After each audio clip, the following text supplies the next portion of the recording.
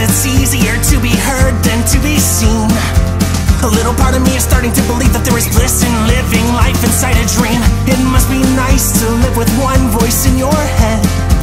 I'd love to see you try to sleep with 22 inside instead.